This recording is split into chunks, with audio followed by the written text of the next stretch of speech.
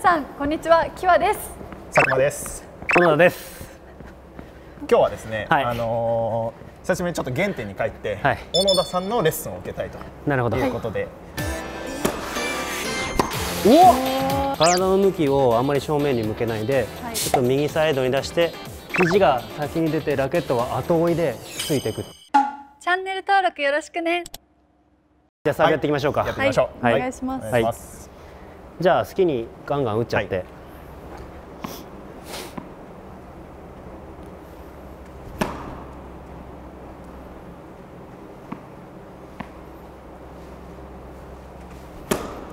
うんうん。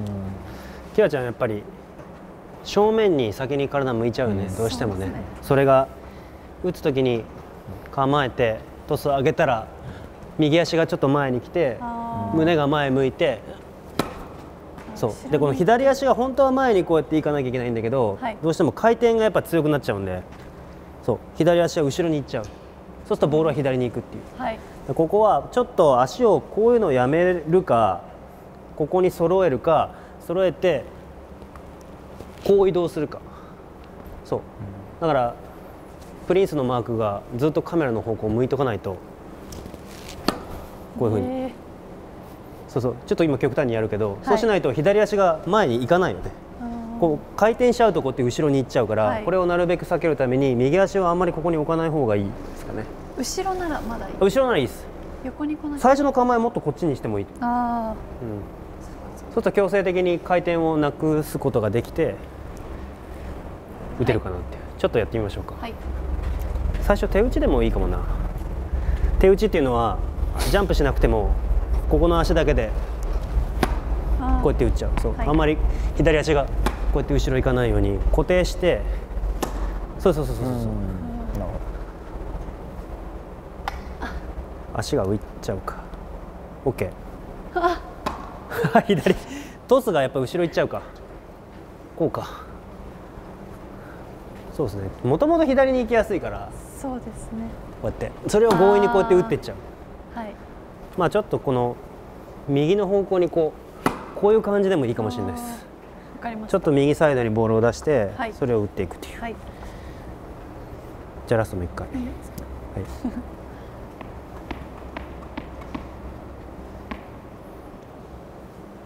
あそれでもいいかも。それぐらい。それでちょうど右肩の前ぐらい、すごい。うん、結構右に上げてる感覚でしょ、うん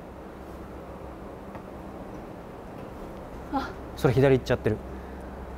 そう。うんそんな感じ。結構じゃあこっちに上げていいってこと？でも結構行ってるつもりでも、うん。そんなに右行ってない。本当ですか？こんなとこじゃないもん。ちょうどこの辺行ってるね。結構こっち面に投げたら。もともとちょっと左にこう引っ掛ける感じがあったから、は体の向きをあんまり正面に向けないで、はい。ちょっと右サイドに出して右で打っていくっていう、はい。まあ、本当は頭の上は一番いいんだけどここに上げると多分左に行っちゃうから、うん。まあ、できれば右かな。右からこう打っていくっていう、はい。体の回転を抑えてボールを打ちましょう。はい。はい。Star Tennis Academy じゃあ佐久間 P はい。10個ぐらいあるんですけどいいですか？1個にしてください1個か2個にしてください。欲張り。欲張り。じゃあ10個10個いく10個いくじゃん。まず結構悩みが、はい。ファーストはあのそれなりにいいサーブが打ててると思うんですけどセカンドがちょりっちゃうんですよ。勢いのない入れたいがためにすくい上げるんですけど勢いがなくなっちゃうんだ。回転がやっぱ強いってことか、はい。ちょっとそれを。ああ、ま、巻いてるのか。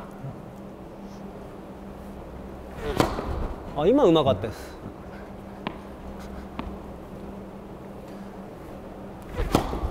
ああこう勢いのないなんでしょうねセカンドサーブで。なるほど。もっとななんでしょうね。こう来て、多分こっちからはい。ラケットが入ってきてこうやって入ってザラザラザラってスライドして、こっちにこうやって巻き込んでいくはい。感じですよね。こういうふうに、ここはこう来たらあの高尾プロも言ってたじゃないですか。そう、ね。ラケットのここに当てない方がいいんですよ。だからここに最初は当てないといけないです。はいここに当てるとザラザラザラってスライドする分スピンが強くなるからできればまあ真ん中よりかはちょっと若干左に当ててスライドする時間を減らせばボールははい。前に。あの一番回った動画をあんなに死ぬほど見たのにそれがでも結局できてない。それでもってことです左そう左にこう打ち出そうとするとどうしてもここに当たっちゃうのは事実です、はいこうやってね、こういうふうにまあはい。ガシャっちゃうとこうなりますよ。うんなんか強いですねスピンが。確かに。ファーストはこのここに当てようって意識を結構今持ってるんですけどセカンドになるとなんかイメージはこういうイメージなんですよ、うんうんうん。まあ、確かにそうするとここここに当たってで結局こうなってる。わかるわかる。えっとこれはですねラケットを先にこうやって出そうとするとスピンはかかるんですけどまあ回転が多すぎて前に行かないんですよでここはこういうラケットのシナリオをやっぱ使わなきゃいけないんですよ。こういうふうに。そう。できるだけ肘が先に出てラケットは後追いでついていくっていう。そう。ためを作って、まあ、これちょっと難しいですけどこうふにゃふにゃで最後までボールをこう当てないっていうつもりでこの辺が出てきて後でラケットは返っていくっていう。先にラケットがもう出ちゃうとここから先はこうなるしかないんですよ。でよくプロだとワイドサーブを打ってるのにみんなこうやってなってるでしょこういうふうに。はいはいはい。でこれはラケットの出し方的に言うとしっかり肩肘手首でラケットトップっていうこの順番でシナリオをこうやって作ってるとジャリーンっていうのはあんまりいかないです、こういうふうに。順番に出してると、そうそうそうそうだここはやっぱりら速いボールを打とうと思うとどうしてもラケットが出ちゃうんでもうもっと遅らせてもいいです。遅らせてもいいです。あそういう感じ。そう遅らしならせてそう引っ掛ける感じだと今みたいにジャリーンっていうのがなくなるんですよ。もっと遅らせる。おおそれっす。もっとしならせて力抜いて。あでもそういう感じです。力抜くと結局はラケットは後追いになってくるんで。すごいドヤ顔された。でも音がはい。サイドスピンかけてるのにバシッて当たるでしょ。うん。そういう感じですそういう感じです。だから高尾プロも言ってたじゃないですか、はい。ここはリラックスしてこういう感じでしなってこないと。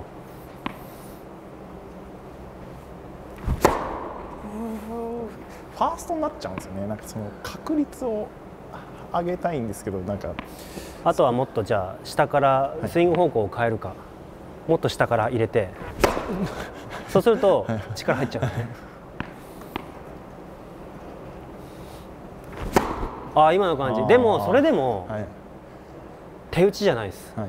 砂利っての時はほぼほぼ手打ちですよね。はいでラケットが先に出るからこの体幹はこうやって引っ込んじゃうんですよ、でもここから先に打ってラケットが最後だったらここのインパクトで最後力がガッて入ってスピンを抑えられるんです。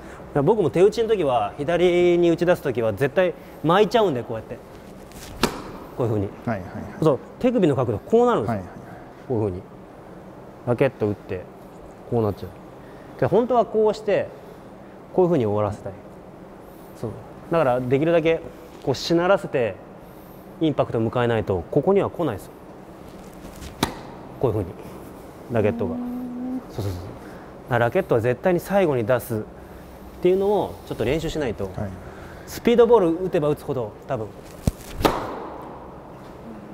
しならせる。で当て方だけを横にして。打つっていう。ここはやっぱり力が一番入っちゃうとこだからここ気をつけてやらないといけないです。この動き。キアちゃんもそうですよね。しなりというか肩が動きが悪いと絶対そうなっちゃう。おうおめっちゃいい音。そんな感じ。力抜いて。そうそうそうそうそう。で若干力抜ければ、はい。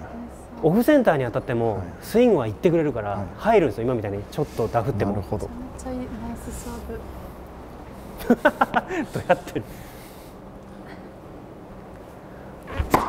そうでもボールは行ってるでしょ前に、はい力まないで。おお今のいい。これです。これ欲しかったセカンドが。そう。で力入っちゃう人は小指ぬ抜いてもいいですこうやって。だから前の動画でも多分言ったんですけどそうそう。力入っちゃう人は小指がこういうふうに入っちゃうから。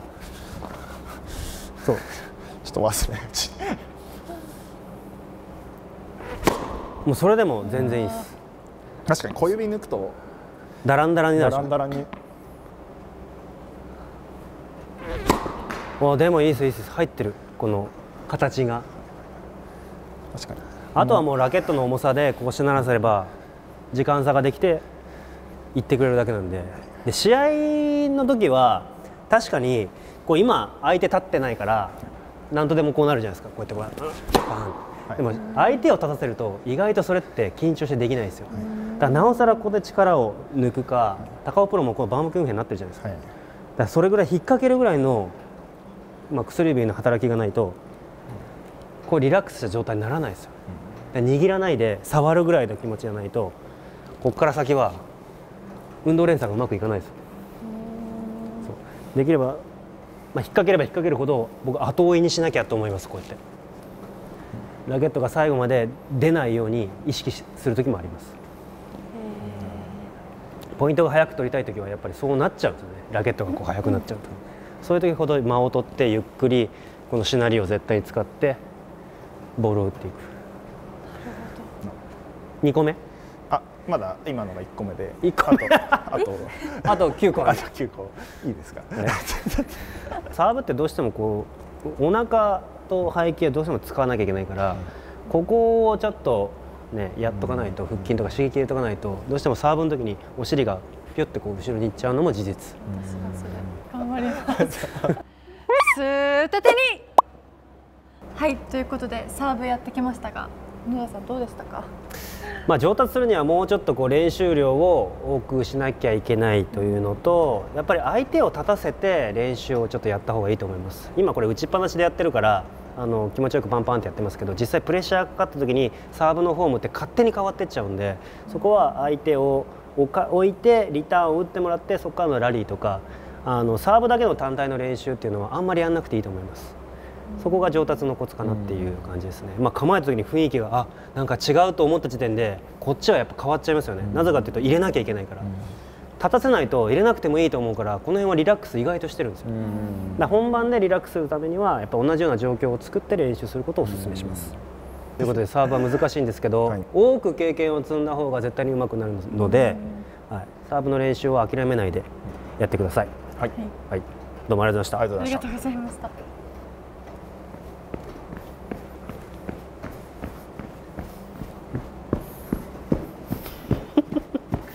とうございました。消えてっちゃった Thank you so much for watching this video. If you like this video, please give us a like and leave us comment down below.